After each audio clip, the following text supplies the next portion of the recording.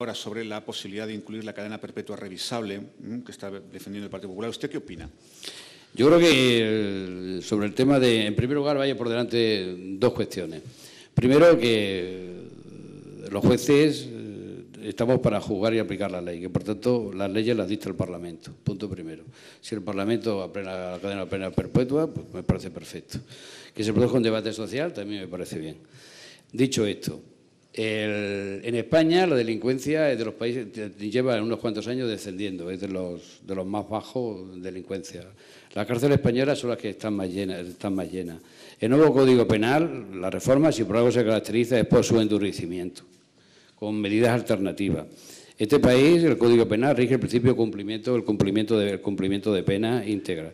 El término medio de aquellos países como Francia y Alemania, donde existe la, cadena perpetua revisable, revisable, que este extremo es importante, revisable viene a tener una duración de 19 o 22 años. En ese contexto hay una necesidad de establecer la cadena perpetua, ustedes lo dirán.